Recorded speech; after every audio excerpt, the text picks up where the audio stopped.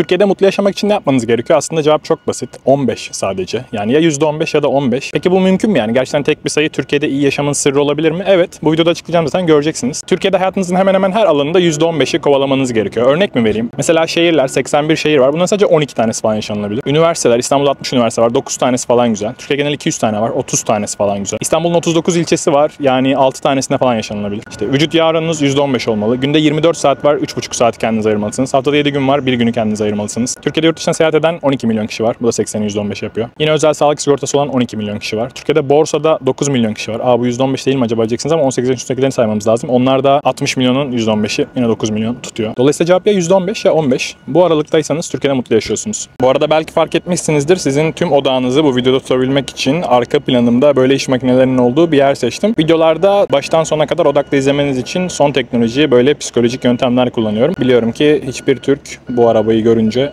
başka bir yere bakamaz. Biliyorum odanızı arkadaki iş makinelerinden almak biraz zor olacak ama istiyorsanız gelin videonun devamını yolda anlatayım. Peki neden %15 yani? %10 ya da %20 değil mi? Hayır değil. Zaten maddeleri tek tek açıklayınca videoda göreceksiniz. Kesinlikle %15 oluyor. Ayrıca ben hayatımın son 4 yılını Türkiye'de nasıl iyi yaşanır üzerine kafa yorarak geçirdim. Ki bu hayatımın 4 yılı aslında 26 yaşında olduğumu varsayarsak o da %15 yapıyor. Bu noktayı videoyu çekmeden önce düşünmemiştim. Aslında şu an aklıma geldi ama biraz her şeyin %15'te tutuklu kalıyor olması beni biraz korkutmaya başladı. Ama çok önemli değil. Geçelim şimdi maddelere. Neden %15 bu kadar önemli ve Türkiye'de neden %15'te olursanız mutlu yaşıyorsunuz? Bir. Öncelikle Türkiye'de yaşanabilecek sadece 12 şehir var. Ki bu 81 şehir olduğunuzu düşünürsek %15 yapıyor. Hemen de sayayım onları. Çok kolay yani. İstanbul, Ankara, İzmir, Bursa, Eskişehir, Antalya, Muğla, Adana, Mersin, Çanakkale, Kocaeli, Samsun. Zaten büyük bir çoğunluğu deniz olan yerler. İki tane istisna var Eskişehir ve Ankara. Bu şehirler dışında yaşıyorsanız muhtemelen ya zorunluluktan oradasınız ya da orada doğduğunuz için falan ve en kısa sürede taşınmayı düşünüyorsunuzdur zaten. Aslında böyle 12 şehri saydım ama bunlar arasında yaşamanız gereken yer İstanbul aslında. İstanbul içinde %15 devam ediyor. İstanbul'da 39 tane ilçe var toplam. Ve bunda %15'i işte 6 yapıyor çok yaklaşık biliyorsunuz. Ve bence İstanbul'da zaten yaşanabilecek sadece 6 tane ilçe var. Onları da hemen sayayım. Beşiktaş, Kadıköy, Şişli, Sarıyer,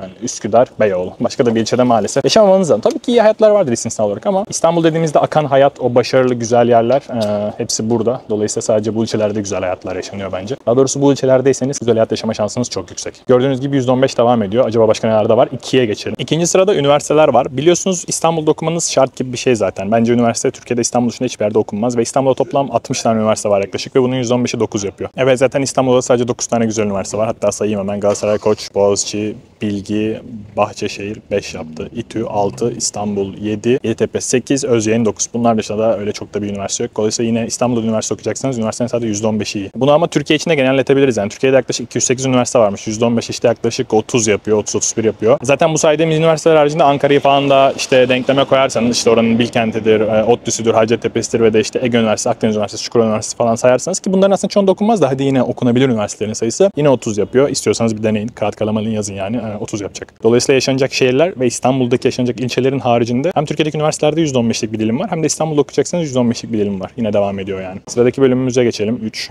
Kendinize ayırmanız gereken kişisel zaman ve vücut yağ oranınız. Aslında bu ikisi de gerçekten hayat kalitenizi çok artıran şeyler. Şimdi günde 24 saat var ve bunu %15 yaklaşık 3,5 saat yapıyor. Ki işte 5'te ya da 6'da işten çıkan birisi olduğunuzu düşünürsek aslında kendinize 3,5 saat vakit ayırmanız en ideali. Yani bu işten eve geliş sürenizi ya da işte banyo yemek gibi süreler çıkıldığında eğer bu kadar net vaktiniz varsa yani gününüzün %15'ini kendinize ayıramıyorsanız 3,5 saatinizi tertemiz olarak çok da güzel bir hayatınız yoktur. Yine bunu ayırabiliyor olmanız lazım. İkincisi de 7 gün var haftada. Bir gününüzü bence sadece hobilerinize ayırabiliyor olmanız lazım. Bu yani eğer hafta sonu temizlik falan yapıyorsanız onların hepsi hariç. Ya da alışveriş vesaire hariç. Dolayısıyla cuma ya da hafta içi rahat çalışıyor olmalısınız ki hafta sonu bir gününüze tamamen size kalsın. Ve tabii bu kadar boş vaktiniz vesaire var. Spora da gitmelisiniz ve vücut oranınız %15 olmalı. Çünkü biraz altı çok sürdürülebilir değil. Biraz üstü ise çok böyle istenilen vücut değil. Dolayısıyla vücut da %15'e tutmanız yine Türkiye'de mutlu olmanız için güzel bir e, etken. Ve geçelim sıradaki maddemize. Bu da yurt dışı seyahat. Türkiye'de 80 milyon kişi var biliyorsunuz ve %15 12 milyon yapıyor. Ne kadar ilginçtir ki TÜİK verilerine göre her yıl Türkiye'den yaklaşık 12 milyon kişi yurt dışına seyahat ediyor. Dolayısıyla yine Türkiye'de kaliteli bir hayat yaşamak istiyorsanız ki kaliteli bir hayatın gerçekten en temel etkenlerinden birisi istediğiniz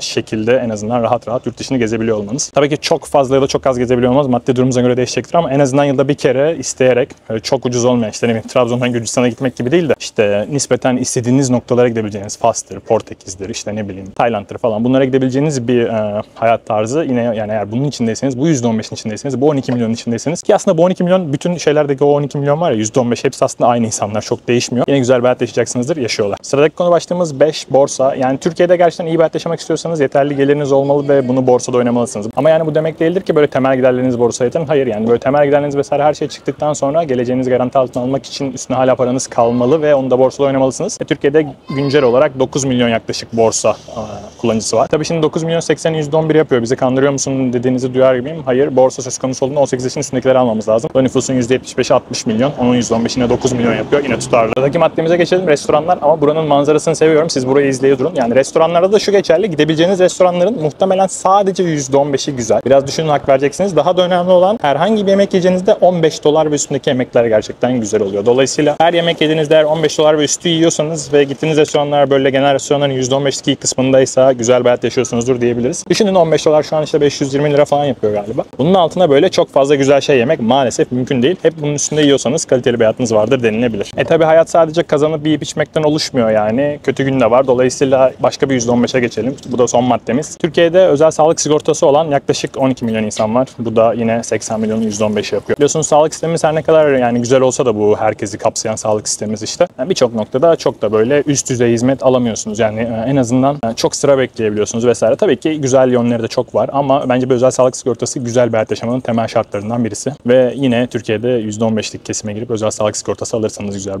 yaşayabiliyorsunuz. Bu örnekleri çok daha fazla sayıda arttırabilirsiniz aslında. Yani böyle biraz düşünün. %15'lik kesime girmekle ilgili neler olabilir diye düşünün. Çoğunda aa evet burada da girmem lazım diyeceksiniz. Yani Türkiye'de iyi bir hayatın sırrı %15'ten geçiyor. Dolayısıyla eğer bu %15'lik dilimlerden bayağı bir kısmında en azından yarısından çoğunda yoksanız muhtemelen çok güzel bir hayat yaşamıyorsunuz. Ve sürekli üzgünsünüz ve sürekli Türkiye'den şikayet ediyorsunuz ve anlamıyorsunuz yani bazı insanlar gidebiliyor olmasına rağmen neden gidemiyor. Onun sebebi işte bu. İnsanların hayatları Türkiye'nin %15'lik kısmındaysa gerçekten güzel ve gitmeye değmiyor. E bir kısmında tabii gidesi yok. Dolayısıyla son olarak şunu da söyleyeyim. Eğer siz de Türkiye'de yaşamak istiyorsanız ki Türkiye çok güzel ve yaşanılası bir yer. Bu %15'lik kesimde olursanız mutlu olursunuz. Değerli Turizm Montreal'den sundu.